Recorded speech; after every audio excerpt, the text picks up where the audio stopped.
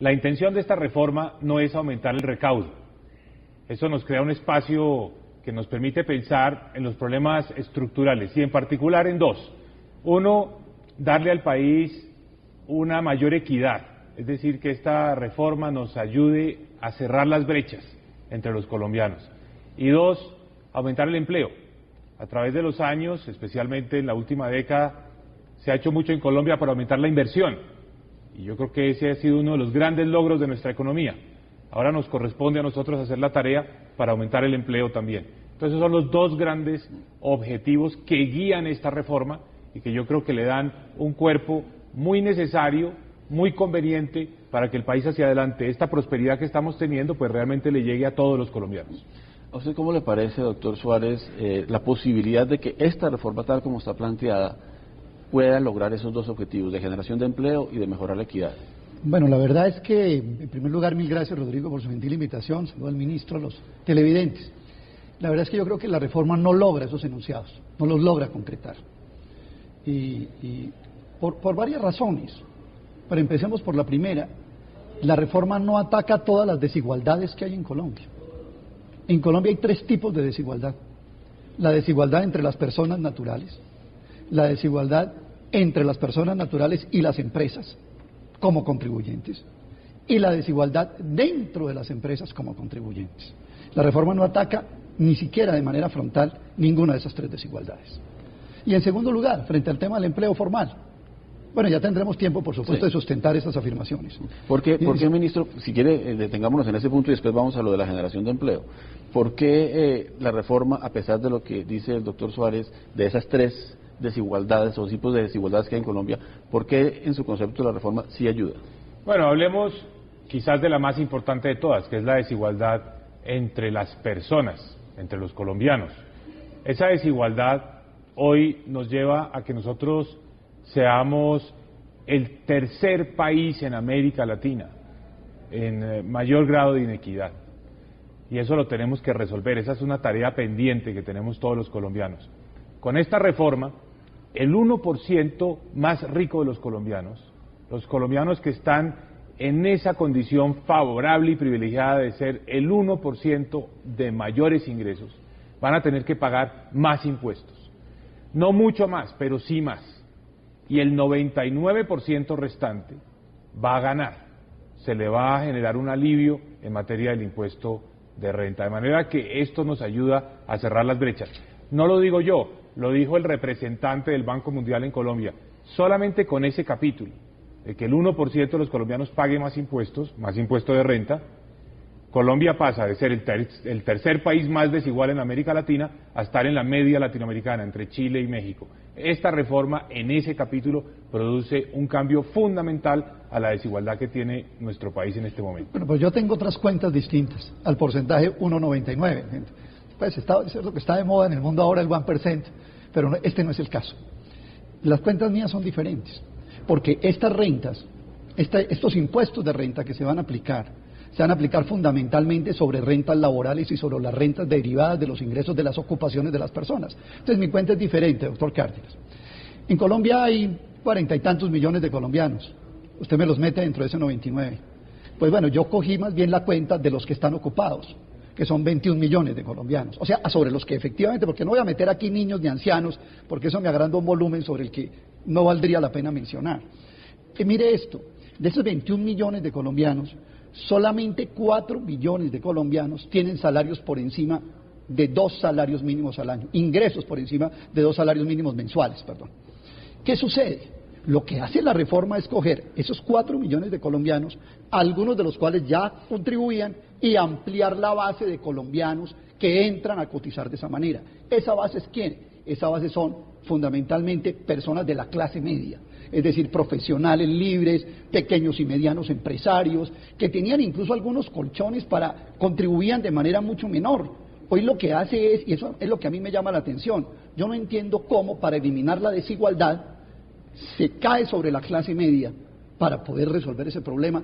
Y también es cierto, no es lo fundamental del recaudo hoy en el país, ese no es el grueso fundamental del recaudo que tiene Colombia, y el recaudo fundamental, el de las empresas, por el contrario, se les disminuye el impuesto de renta del 33 al 25. ¿Qué le podemos decir a, la clase media que nos pueda estar mirando esta noche, ministro, sobre esta preocupación que indudablemente está sentida en la realidad, digamos, de la opinión pública?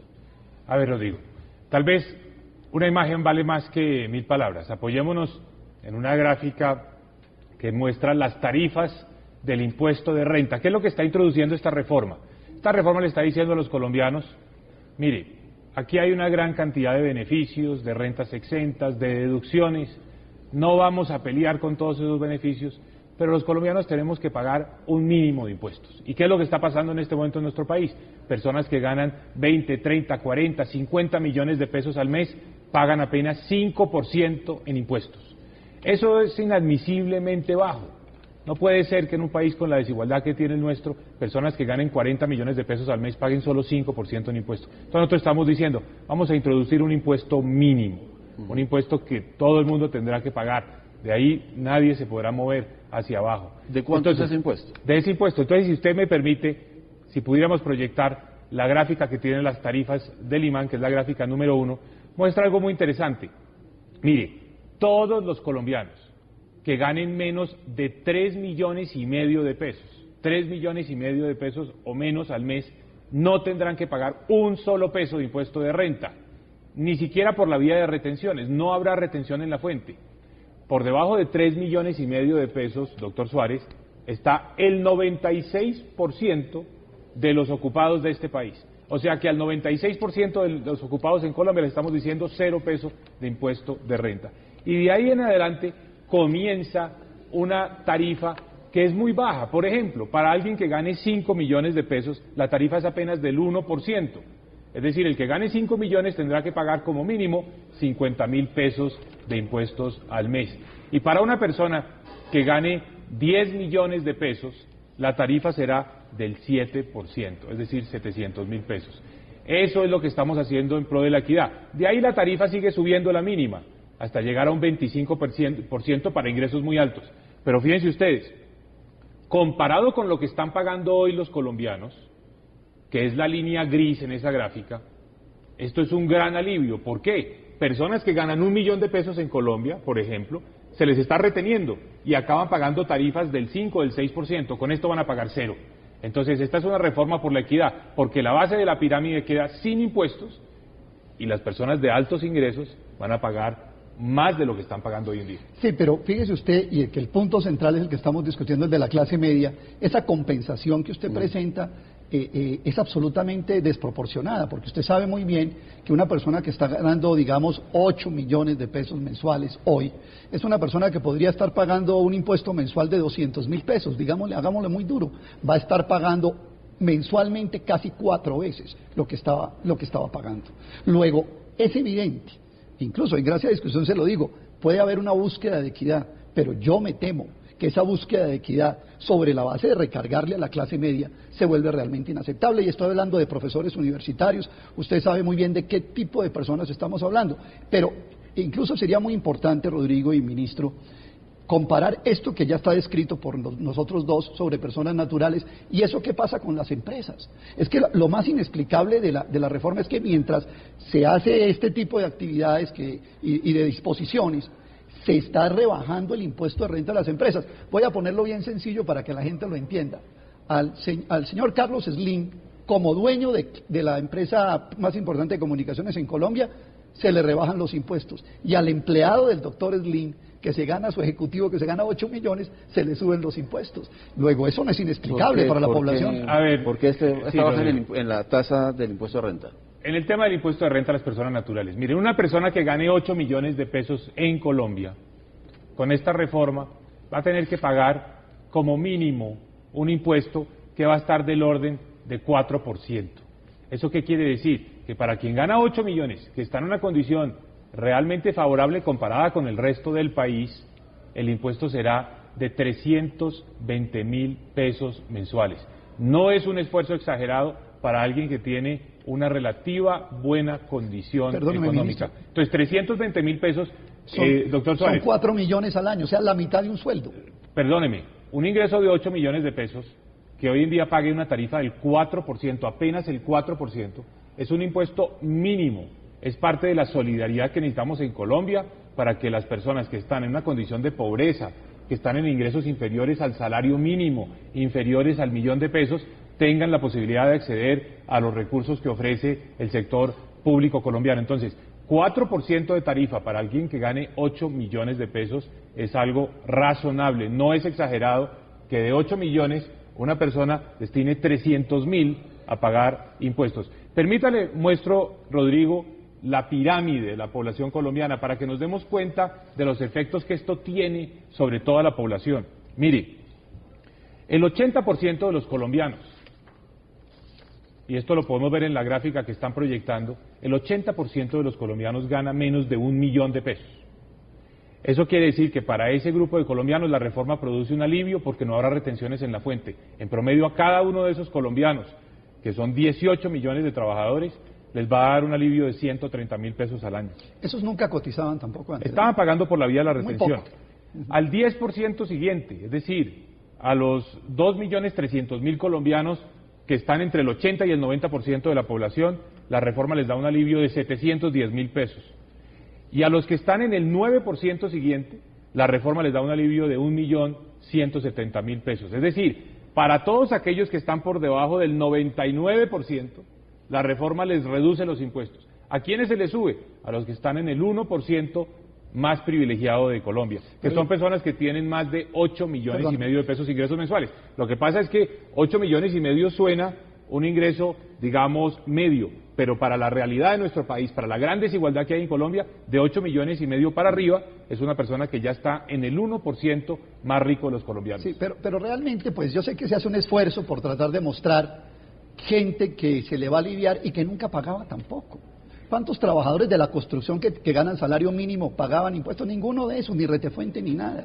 Aquí el punto en lo que estamos discutiendo es no, qué le pasa a los que nunca les pasaba. Pues no les pasa nada. Aquí lo que estamos discutiendo es evidentemente, ministro, que se aumenta la base gravable de tributación de personas naturales y el aumento de esa base gravable se hace sobre las personas de clase media. ¿Cuál es el gran balance de la, de la, reforma tributaria? El gran balance de la reforma tributaria es el siguiente. A las empresas se les descuenta en 6 billones de pesos los impuestos y a las personas naturales se les aumenta en más de casi 4 billones y medio. Ese es el balance de la, de la, hablemos de, hablemos de las empresas, pero, de las empresas. Pero permítame aclarar una cosa porque no, no la puedo dejar pasar decir que los colombianos de un millón, dos millones de pesos no estaban pagando impuestos salario mínimo. es absolutamente falso. Los colombianos están pagando, los de un millón, dos millones de pesos están pagando las retenciones. De hecho, de los contribuyentes, nosotros tenemos las bases de datos de la DIAN, de los contribuyentes, por debajo de tres millones y medio, a los, decir, a los que les vamos a dar el alivio completo de que no van a pagar nada de impuestos, hay cuatro millones y medio de colombianos, doctor Suárez. Entonces, decir que esta gente no estaba pagando nada es falso. Estaban pagando y ahora van a dejar de pagar. Sí, pero, pero, pero también decir que, que, es sobre la base de los más ricos que se les va a compensar lo que dejan de pagar. No, ustedes lo que hacen simplemente es ampliar la base gravable y aumentar enormemente, exageradamente, en proporciones realmente extraordinarias los impuestos a los sectores de clase media del país. Eso es evidente que así es como se compensa la ecuación.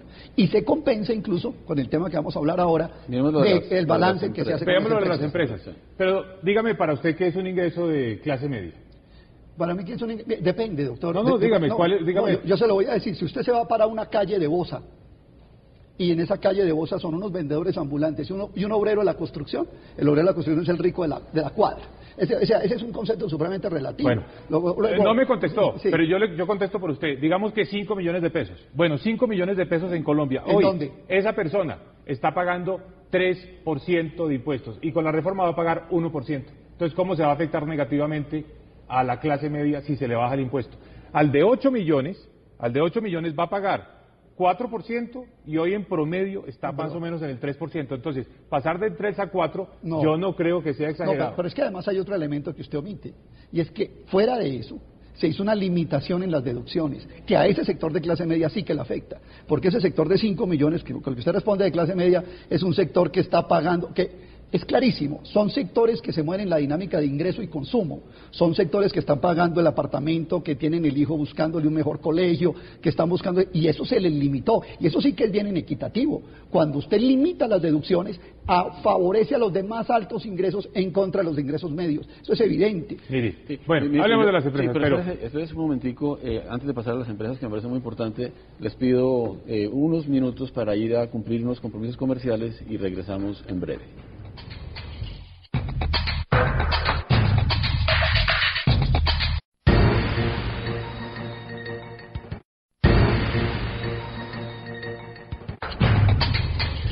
Hablábamos en la primera parte del programa de cómo la reforma tributaria va a afectar básicamente a las personas naturales, a las personas de carne y hueso.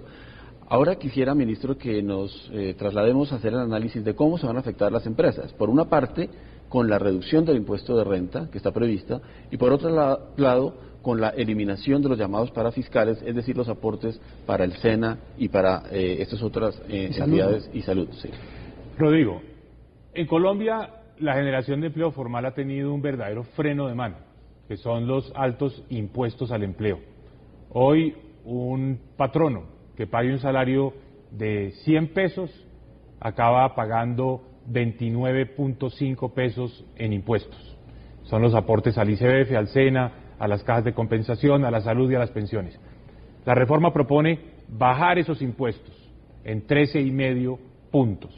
Eso es un gran alivio que nos va a permitir estimular la generación de empleo formal en Colombia. ¿Quiénes van a ganar con esa reducción de los impuestos al empleo?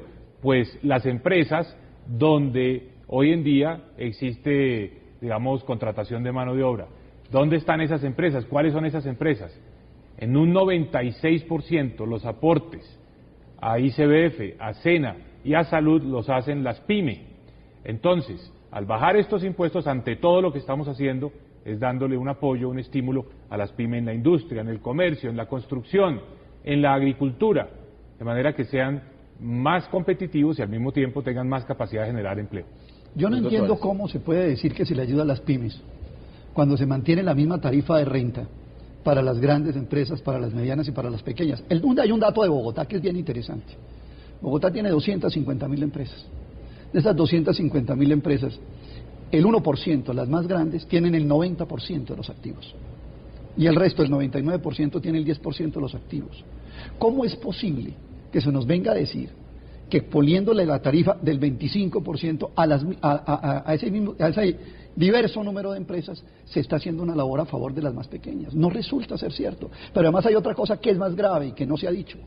Es que se maneja un volumen de, descuentos. Hay una masa de descuentos que las empresas se hacen por costos. Quiero darles este dato. Las 10, el 10% de empresas más poderosas se queda con cerca del 50% de esa masa de descuentos. Y el 10% de las empresas más pequeñas se queda apenas con el 2% de esa masa de descuentos. Luego, no es evidente, y esto, esto es bien importante, en este primer, eh, digamos, aspecto, esta primera mirada sobre el tema empresarial, la reforma tributaria no elimina las diferencias entre las distintas empresas. Las tratas todas por igual y al tratarlas por igual genera un sesgo evidente a favor de la gran empresa. ¿Sí se genera, ministro? Sí, Rodrigo, por lo siguiente. Eh, la reducción de los impuestos a la nómina, ¿a quién beneficia? Pues a las empresas que generan empleo. ¿Cómo vamos a sustituir esos ingresos? ¿A quién se los vamos a cobrar? Vamos a adoptar un nuevo impuesto a las utilidades del 8%, que se va a destinar al ICBF, al SENA y a la salud. Entonces, ahora quienes van a pagar los impuestos son las empresas donde están las utilidades, no las empresas donde está el empleo. ¿Dónde están las utilidades, doctor Suárez? en, el sector financiero, en el sector minero energético, en el sector eléctrico, donde, por cierto, no está el empleo. Entonces, ¿por qué esta es una reforma por la equidad? Ya para pasarnos del tema de las personas al tema de las sociedades. Estamos aliviando la situación a las empresas que generan empleo y estamos sobrecargando un poco más el costo del financiamiento de la política social en Colombia sobre las empresas donde están las utilidades. Eso es equidad y eso es apoyar a las empresas que con gran dificultad generan empleo, empleo formal. Bueno, yo al respecto de eso sí quisiera hacer dos notas que me parece importante. No hay ningún estudio serio en Colombia. Entiendo que de verdad, que pueda decir que a través de eliminar lo que llaman además impuestos al empleo, que yo, ese, ese término a mí ya me está chocando demasiado, de verdad lo digo, porque se está viendo el trabajo como un costo y no el trabajo como un creador de valor. Ese es un principio, pero eso podemos dejarlo ahí por ahora, enunciado.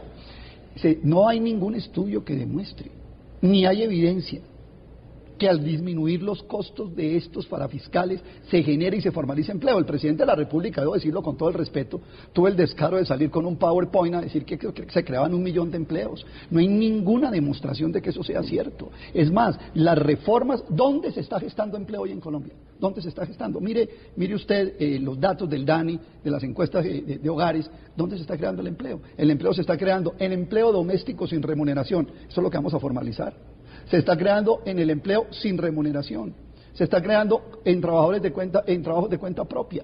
¿Dónde está esa base productiva que además se está destruyendo, que se va a favorecer con esta reducción de los parafiscales? No aparece un entorno de generación de empleo donde incluso, en el caso de que fuera cierta la ecuación que defiende el gobierno, se pudiera efectivamente generar. Ministro.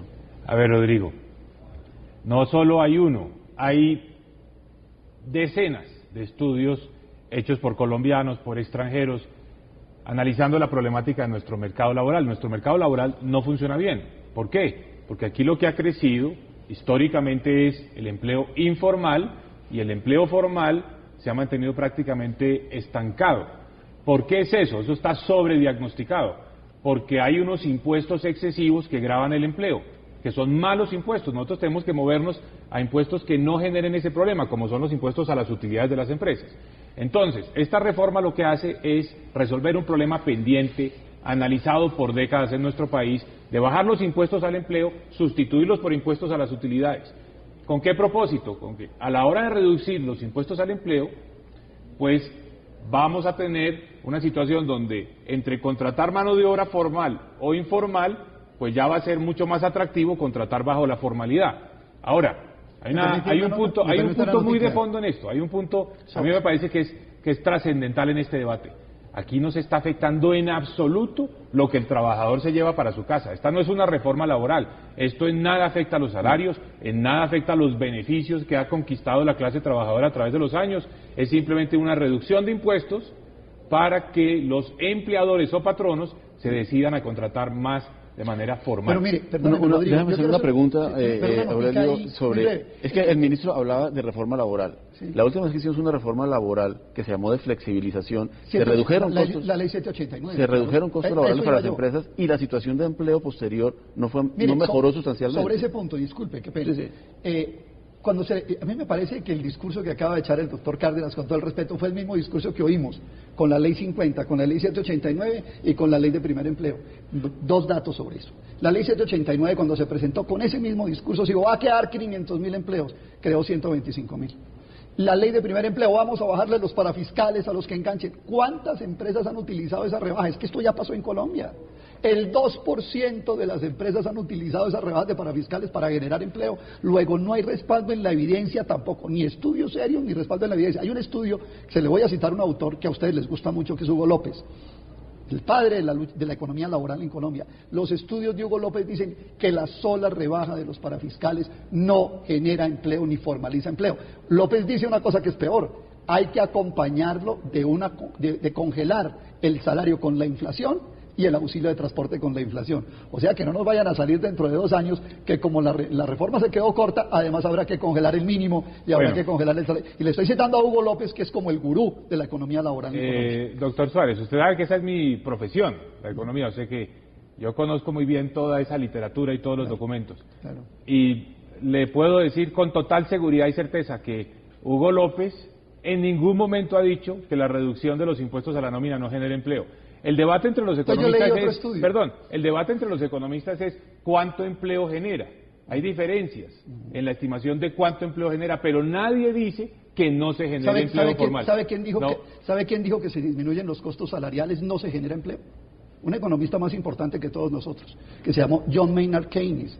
En la página 30 del libro La ocupación, el interés, eh, eh, la teoría general de la ocupación, el interés y el dinero, Keynes demuestra claramente que el mercado laboral no se comporta como los demás mercados, que, que hay un desempleo involuntario que la baja de los salarios no resuelve. Eso, eso y ese es el más importante que todos los que hayamos leído. Bueno, ¿por qué los sindicatos no ven con buenos ojos esta reforma si ocurre lo que usted dice? Y si además eh, piensan que se podría reducir en una situación económica distinta a la actual los recursos que se destinan al ICBF y a la salud. Sí, ese es el tema, digamos, contencioso, es el tema de la, de la controversia.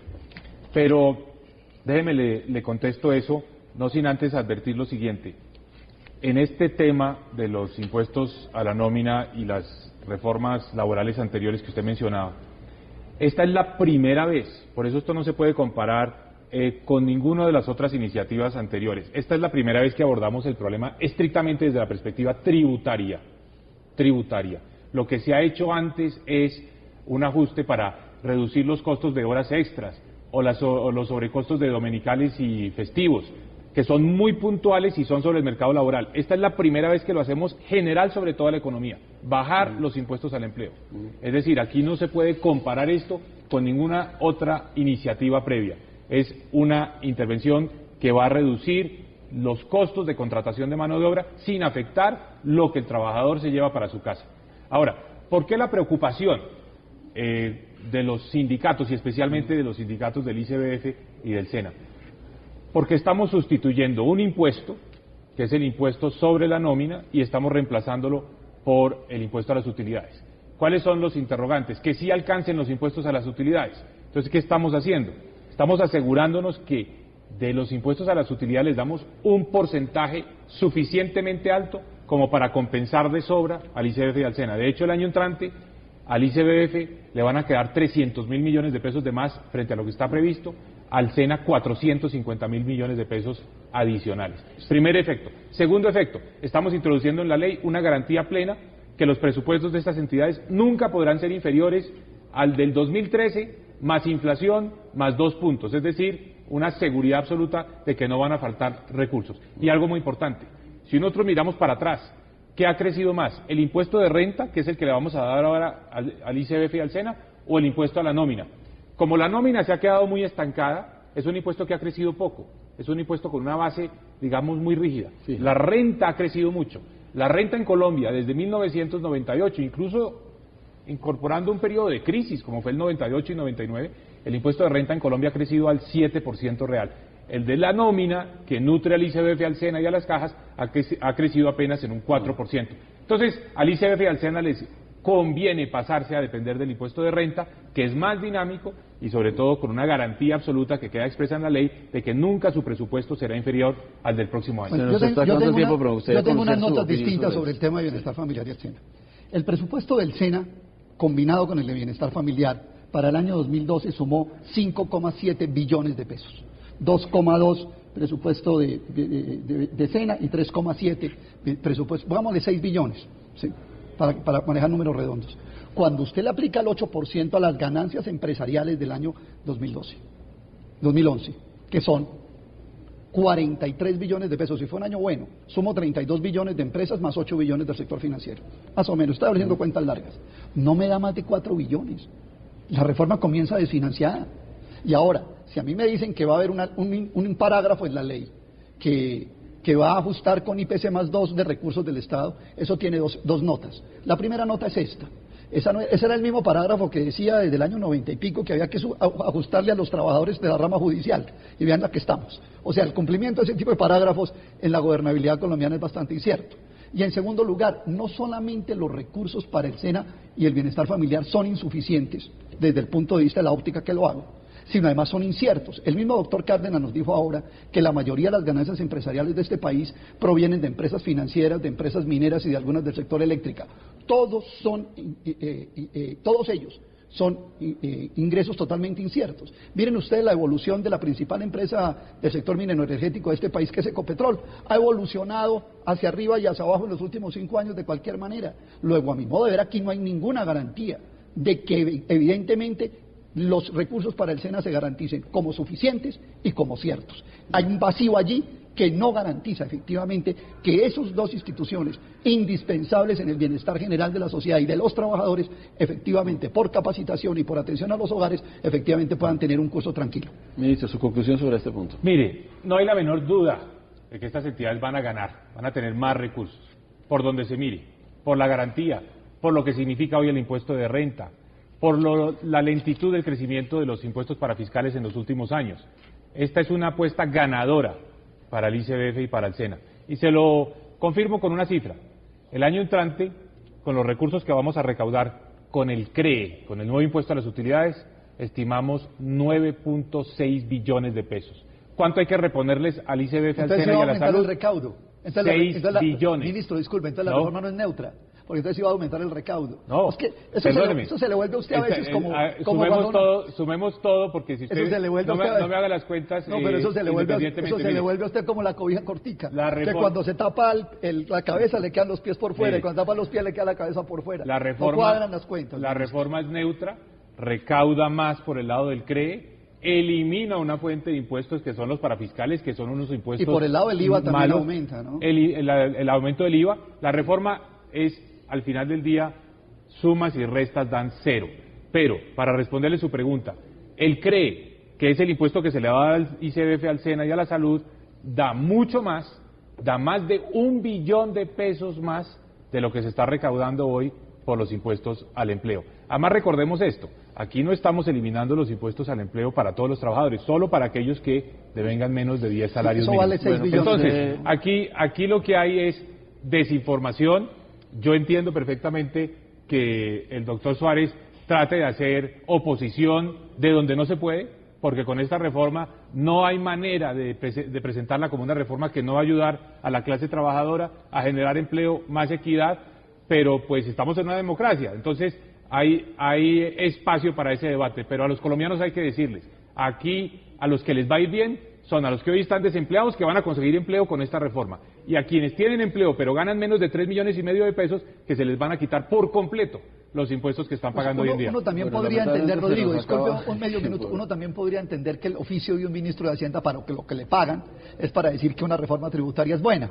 O sea que en eso estamos a mano. Y el oficio nuestro es abrir espacios para que se puedan discutir los temas, para que se puedan debatir, para que se puedan profundizar creo que lo hemos hecho, les agradezco mucho sus aportes, sus puntos de vista muy interesantes. A ustedes los invito la próxima semana para el análisis de otro gran tema de la actualidad nacional. Buenas noches.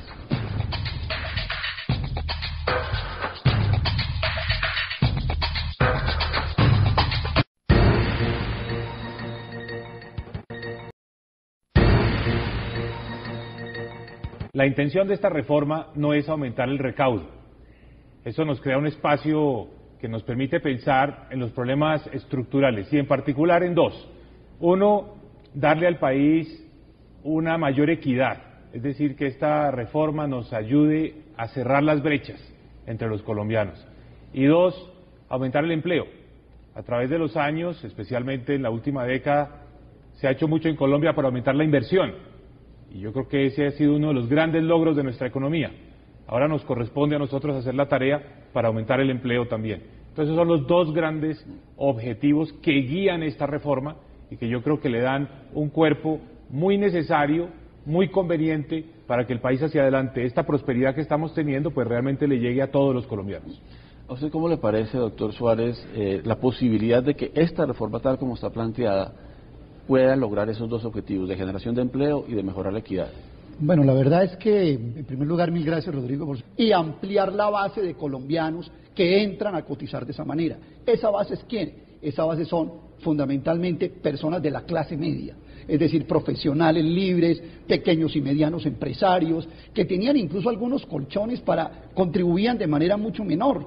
Hoy lo que hace es, y eso es lo que a mí me llama la atención, yo no entiendo cómo para eliminar la desigualdad se cae sobre la clase media para poder resolver ese problema. Y también es cierto, no es lo fundamental del recaudo hoy en el país, ese no es el grueso fundamental del recaudo que tiene Colombia, y el recaudo fundamental, el de las empresas, por el contrario, se les disminuye el impuesto de renta del 33 al 25. ¿Qué le podemos decir a, la clase media que nos pueda estar mirando esta noche, ministro, sobre esta preocupación que indudablemente está sentida en la realidad, digamos, de la opinión pública? A ver, Rodrigo, tal vez Una imagen vale más que mil palabras. Apoyémonos en una gráfica que muestra las tarifas del impuesto de renta. ¿Qué es lo que está introduciendo esta reforma? Esta reforma le está diciendo a los colombianos, la desigualdad hoy nos lleva a que nosotros seamos el tercer país en América Latina en eh, mayor grado de inequidad. Y eso lo tenemos que resolver. Esa es una tarea pendiente que tenemos todos los colombianos. Con esta reforma, el 1% más rico de los colombianos, los colombianos que están en esa condición favorable y privilegiada de ser el 1% de mayores ingresos, van a tener que pagar más impuestos. No mucho más, pero sí más. Y el 99% restante va a ganar. Se le va a generar un alivio en materia del impuesto de renta. De manera que esto nos ayuda a cerrar las brechas. No lo digo yo, lo dijo el representante del Banco Mundial en Colombia, solamente con ese capítulo, de que el 1% de los colombianos pague más impuestos, más impuesto de renta, Colombia pasa de ser el, tercer país más desigual en América Latina a estar en la media latinoamericana, entre Chile y México. Esta reforma en ese capítulo produce un cambio fundamental a la desigualdad que tiene nuestro país en este momento. Bueno, pues yo tengo otras cuentas distintas al porcentaje 1,99. Pues está, es que está de moda en el mundo ahora el 1%, pero este no es el caso. Las cuentas mías son diferentes, porque estas rentas, estos impuestos de renta que se van a aplicar, se van a aplicar fundamentalmente sobre rentas laborales y sobre las rentas derivadas de los ingresos de las ocupaciones de las personas. Entonces mi cuenta es diferente, doctor Cárdenas. En Colombia hay cuarenta y tantos millones de colombianos. Usted me los mete dentro de ese 99. Pues bueno, yo cogí más bien la cuenta de los que están ocupados que son 21 millones de colombianos. O sea, sobre los que efectivamente, porque no voy a meter aquí niños ni ancianos, porque eso me agranda un volumen sobre el que no valdría la pena mencionar. Y mire esto, de esos 21 millones de colombianos, solamente 4 millones de colombianos tienen salarios por encima de dos salarios mínimos al año, ingresos por encima de dos salarios mínimos mensuales, perdón. ¿Qué sucede? Lo que hace la reforma es coger esos cuatro millones de colombianos, algunos de los cuales ya contribuían, vendí la invitación, saludo al ministro, los televidentes. La verdad es que yo creo que la reforma no logra esos enunciados, no los logra concretar. Y, por varias razones. Pero empecemos por la primera. La reforma no ataca todas las desigualdades que hay en Colombia. En Colombia hay tres tipos de desigualdad. La desigualdad entre las personas naturales, la desigualdad entre las personas naturales y las empresas como contribuyentes y la desigualdad dentro de las empresas como contribuyentes. La reforma no ataca ni siquiera de manera frontal ninguna de esas tres desigualdades. Y en segundo lugar, frente al tema del empleo formal, bueno, ya tendremos tiempo, por supuesto, de sustentar estas afirmaciones. ¿Por qué, ministro, si quiere, eh, detengámonos en ese punto y después vamos a lo de la generación de empleo? ¿Por qué eh, la reforma, a pesar de lo que dice el doctor Suárez, de esas tres desigualdades o tipos de desigualdades que hay en Colombia, ¿por qué en su concepto la reforma sí ayuda? Bueno, hablemos quizás de la más importante de todas, que es la desigualdad entre las personas, entre los colombianos.